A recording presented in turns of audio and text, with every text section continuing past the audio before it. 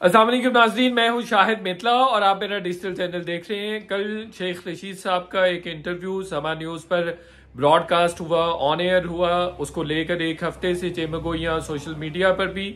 जेर गर्दश थी और मीडिया के हलकों पर भी बातचीत इसी हवाले से हो रही थी कि शेख रशीद साहब नेक्स्ट होंगे फरूख हबीब साहब के बाद, जो प्रेस कॉन्फ्रेंस करेंगे या इंटरव्यू देंगे।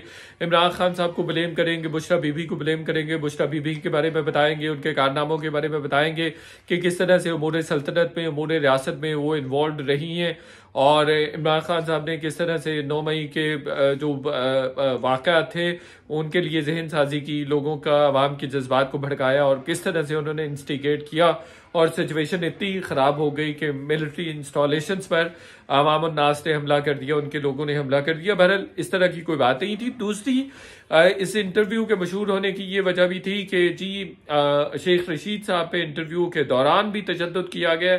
हमारे एक दोस्त हैं, साथी हैं सीनियर दोस्त हैं असदूर साहब, उन्होंने एक वीलॉग कल किया था, जिसमें उन्होंने ये कहा था कि शेख रशीद साहब पर तशद किया गया उनके मुँह पर थप्पड़ मारा गया इंटरव्यू के दौरान। उन्होंने इस तरह से बयान किया था कि उनको कुछ लोग घसीटते हुए समा न्यूज़ के ऑफ़िस लेके आए। उनका पीछे से किसी एक आदमी ने एजेंसी के किसी आदमी ने उनका कॉलर पकड़ा हुआ था, फिर उनको ज़बरदस्ती स्टूडियो में लेके जाया गया।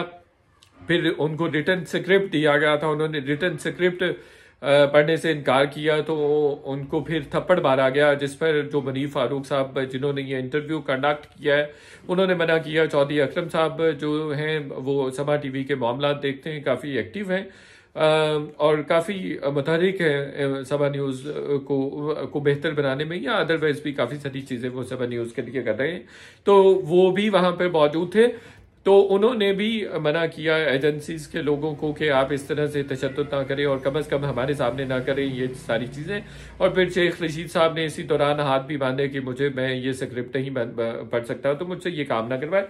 इस तरह का मामला उन्होंने बयान किया है। इस पर हमने जो अपनी तहकीक की, कल ही कर ली थी, लेकिन बस वीलॉग नहीं मैं कर सका। तो बात करेंगे कि हकीकत क्या है, असल हकायक क्या है, शेख रशीद साहब कैसे पतली गली से अपने एक्सपीरियंस का फ़ायदा उठाते हुए निकल गए, और किस तरह से शायद इस्टेब्लिशमेंट ने भी रिलैक्सेशन दी है। कि वो अपनी मर्ज़ी की गुफ्तु कर सकें या रिलैक्स माहौल में गुफ्तु कर सकें। थप्पड़ पड़ा, नहीं पड़ा तशद हुआ, नहीं हुआ, किस बात पे वो आप दीदा हुए? और सबसे अहम बात कि कौन कौन से लोग वहाँ पे इंटरव्यू के दौरान मौजूद थे? इन तमाम चीज़ों के हवाले से मैं बात करूँगा। सबसे पहले तो जी, ये कि मनीफ फारूक साहब को एक दिन पहले बताया गया कि उन्होंने ये ये इंटरव्यू करना है। शेख रजीज साहब ने उनसे कांटेक्ट किया कि मैं मैं चाहता हूँ कि आप मुझे विज़िट करें और इंटरव्यू करें। तो शेख जो जो मनीफ फारूक थे, उन्होंने हामी भर ली कि बिल्कुल मैं आपका इंटरव्यू कर लूँगा।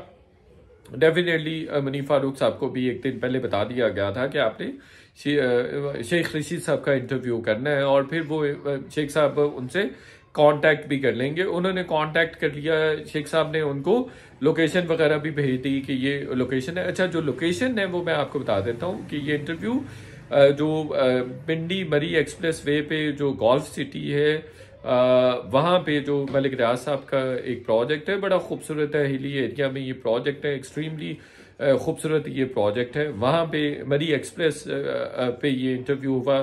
शेख साहब का वहाँ पे बेंगलो है। वो कहते हैं कि ये मेरे जो भतीजे हैं, शेख राशिद हफीज़, उसका बेंगलो है। लेकिन ये भी कहा जाता है कि ये शेख साहब का, शेख साहब के बच्चे वगैरह नहीं है। तो जो भी प्रॉपर्टी जो भी चीज़ें हैं, वो डेफिनेटली इन्हीं लोगों की है। तो ये भी कहा जाता है कि मलिक रियाज साहब ने उनको, शेख साहब को ये गिफ्ट किया था। तो बहरहाल, वहाँ पे ये इंटरव्यू कंडक्ट हुआ। तो मनी फारूक साहब ने अपनी टीम को भी बता दिया था कि हम जा रहे हैं तो वो जुमे रात की रात को ये इंटरव्यू कंडक्ट हुआ, कोई आठ, साढ़े आठ बजे के करीब वो जो बहरिया गोल्फ सिटी था, वहाँ पे पहुँचे, उन्होंने जाके अभिषेक साहब से बातचीत हुई, मुलाकात हुई, बड़े रिलैक्स्ड माहौल में उनसे बातचीत हुई पहले खाने का, उनको कहा गया कि आप के लिए खाना लग गया है। कुछ लोगों ने खाना खाया। अमनी फारूक साहब के साथ उनके दो टीम मेंबर्स थे। एक अली मुनीर साहब हैं, एक अब्दुल अलीम है। दो उनके टीम मेंबर्स हैं, एक सीनियर प्रोड्यूसर हैं, एक जूनियर प्रोड्यूसर हैं। इसके अलावा मनी फारूक साहब थे। तो ये तीन लोग थे जिन्होंने ये इंटरव्यू कंडक्ट किया। हमें पहले ये बताया गया था कि शायद प्रोडक्शन फैसिलिटी भी शायद एजेंसी की थी, एजेंसी के लोगों की थी, उन्होंने तमाम इंतज़ाम किए हुए थे, लोकेशन उनकी थी, ऐसा नहीं था। लोकेशन शेख साहब की थी, इक्विपमेंट भी सामान्य न्यूज़ का ये इस्तेमाल हुआ। लाहौर से टीम आई, लाहौर से बनी फारूक साहब जुमेरात को ही आए, पहले समा न्यूज़ गए जो कि ब्लू एरिया में उनका ऑफ़िस है, वहाँ से उन्होंने इक्विपमेंट लिया इक्विपमेंट लेके वो वहाँ शेख साहब के पास पहुँचे, वहाँ उनको खाने की ऑफ़र की गई, जो कि उन्होंने नहीं एक्सेप्ट की। वहाँ पे शेख राशिद हफीज साहब भी थे इंटरव्यू के दौरान, और कुछ ऐसे लोग भी थे, जो कि नामालूम में मुबैना तौर पर एजेंसी के हो सकते हैं। वो बहरल लोग ऐसे मौजूद थे। इंटरव्यू बड़े रिलैक्स्ड माहौल में हुआ है। शेख साहब पे इंटरव्यू के दौरान कोई तशद नहीं हुआ है उनको कोई थप्पड़ नहीं मारा गया है। तो ये बात जो है, वो गलत है कि इंटरव्यू जो है, वो समा न्यूज़ के ऑफ़िस में हुआ या उनको थप्पड़ मारा गया है या इंटरव्यू के दौरान कोई तशद किया गया, ये बात सौ फ़ीसद गलत है। उससे पहले हुआ हो तो उसके बारे में मेरे पास इंफॉर्मेशन नहीं है, मैं कुछ नहीं कह सकता हूँ। डेफिनेटली चालीस दिन रखा है। शेख साहब अफसरदा थे, उनको देख के अफसोस भी हो रहा था। सेवेंटी टू ईयर्स उनकी उम्र है। सारी ज़िंदगी उन्होंने फ़ौज के साथ काम भी किया। उनके साथ ये सलूक हरगिज़ हरगिज़ नहीं होना चाहिए था। किसी भी सियासतदान के साथ तजी का मेज सलूक नहीं होना चाहिए। और ये जो दुख था, जो कर्ब था, जो इसतराब था, वो शेख साहब की आवाज़ से नज़र भी आ रहा था। दो मौके ऐसे थे जहाँ पे शेख साहब आबदीदा हो गए। एक, उस मौके पर जब उन्होंने कहा कि मैं अब जो नौ मई के जो मुलजमान हैं, उनकी खातर लड़ूँगा, उनका मुकदमा मैं लड़ूँगा और उनको रिहा करवाऊँगा, मुझे माओ, मुझसे माओ के दुख नहीं देखे जाते। माए परेशान है, गरीब गुरबा लोग हैं जो फंस गए हैं तो वो कह रहे थे, मैं आर्मी चीफ से रिक्वेस्ट भी करूँगा कि उनको रिहा कर दें, दरगुजर का मामला करें और दरगुजर अल्लाह को भी पसंद है, अल्लाह के नबी को भी पसंद है। तो उन्होंने कहा कि मैं उनसे रिक्वेस्ट करूँगा कि इनको माफ़ कर दिया जाए और एक दफ़ा गलती की माफ़ी होनी चाहिए। तो ये बात करते हुए वो बहरहाल उनकी जो आवाज़ थी, भरा गई, आप दीदा भी हुए। और फिर आखिर में जब मनीफ फारूक साहब क्लोजिंग कर रहे थे तो उस दौरान भी वो आप दीदा हुए। अच्छा ये वन गो में सारे का सारा इंटरव्यू गया है जी थर्टी सिक्स मिनट्स का ये इंटरव्यू था। और मैं समझता हूँ कि मनीफ फारूक साहब ने इसको काफ़ी बेहतर, अच्छे सवाल उन्होंने पुट किए मेरे ख्याल में, मेरी राय से बाकी लोग अख्तलाफ कर सकते हैं। लेकिन शेख साहब, बतौर जहाँ दीदा सियासतदान, उन्होंने बहुत ही ज़बरदस्त तरीके से चीज़ों को उन्होंने डिफेंड किया डिस्क्राइब किया।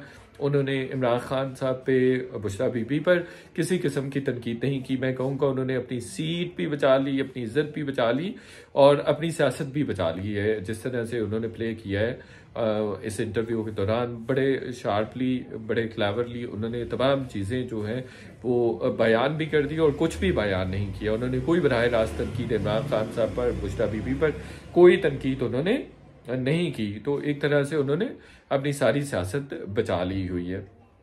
तो दूसरा जो ये बहरहाल उन्होंने ये भी उसी इंटरव्यू के दौरान ये भी कह दिया कि उनको कुछ चीज़ें ज़रूर बहरहाल लिख के दी गई थी या उन्होंने लिखी थी और जो लिख के दी गई थी, ये उन्होंने एक तरह से बावर करवाने की कोशिश की या पोज करने की कोशिश की और ये मैसेज दिया कि उनके पास लिखी हुई चीज़ें मौजूद है। किसने दी हैं? उन्होंने कहा कि मैंने खुद लिखी हैं, लेकिन ऐसा नहीं होता।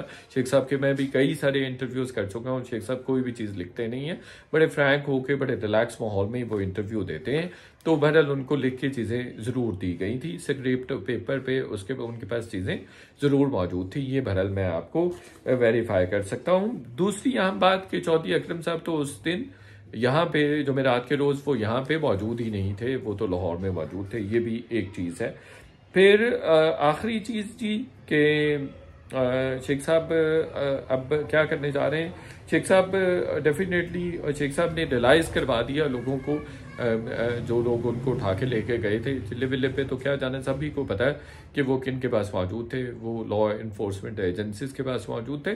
तो वो उन्होंने बहरल उनको रियलाइज़ करवा दिया कि इमरान खान की बहरल पब्लिक में सपोर्ट मौजूद है और मैं उसी की सपोर्ट से जीत सकता हूँ और मैं वो सीट जीत के आपको दान कर दूँगा या आपके सामने रख दूँगा। और ये बात उन्होंने ठीक की, दुरुस्त की कि इमरान खान साहब को, आर्मी चीफ को सिंगल आउट नहीं करना चाहिए था। उन्होंने सियासत करने की कोशिश की। उन्होंने अहम पॉइंट अपॉइंटमेंट के हवाले से सियासत करने की कोशिश की, जो कि उनको कतन नहीं करनी चाहिए थी। और उन्होंने ये गलती की और उन्होंने डिवाइड तफरीक बहरहाल पैदा करने की ज़रूर कोशिश की। और ये भी उन्होंने बात दुरुस्त की है कि इमरान खान साहब बिल्कुल ये एक्सपेक्ट कर रहे थे कि कोई ना कोई डिवीज़न हो जाएगी, कोई ना कोई बगावत हो जाएगी, कोई गलबा हो जाएगा जो उनके हामी ग्रुप है या उनके लोग जो हमायत करते हैं फौज में। तो इस तरह का मामला भी बहरहाल ज़रूर था और इमरान खान साहब की ये सारी चीज़ें एक्सपेक्ट बहरहाल ज़रूर कर रहे थे, लेकिन जो हो नहीं सकी हैं। तो बहरहाल, शेख साहब काफ़ी अफसरदा नज़र आए, जो कि एक सीनियर सियासतदान के साथ नहीं होना चाहिए और मैं ख़ास तौर पर जिस तरह का माहौल है, और हमें पता है कि इस्टेबलिशमेंट पाकिस्तान की सबसे ताकतवर एंटिटी है एंटिटी है तो शुक्रिया भी मैं अदा करूँगा भाई। शेख साहब के साथ कुछ भी मजीद तो हो सकता था। इससे भी ज़्यादा कुछ हो सकता था, कोई कुछ नहीं कर सकता था। तो उनकी मेहरबानी है कि उन्होंने शेख साहब को इस तरह के रिलैक्स माहौल में इंटरव्यू देने का मौका दिया, या सहूलत दी। तो ये भी मेहरबानी है। तो चैनल देखने का बहुत शुक्रिया। जो हकायक थे इस हवाले से, वो मैंने आपके सामने रखे बहरहाल असद तूर साहब के वीलॉग से ये भी हुआ है कि जिन लोगों ने इंटरव्यू नहीं देखना था, उन्होंने भी देखा है और बहुत ज़्यादा देखा जा रहा है ये इंटरव्यू लेकिन शेख साहब ने बेहतरीन तरीके से प्ले आउट किया चैनल देखने का वीलॉग देखने का बहुत शुक्रिया। आपसे रिक्वेस्ट है कि चैनल को सब्सक्राइब करें। Thank you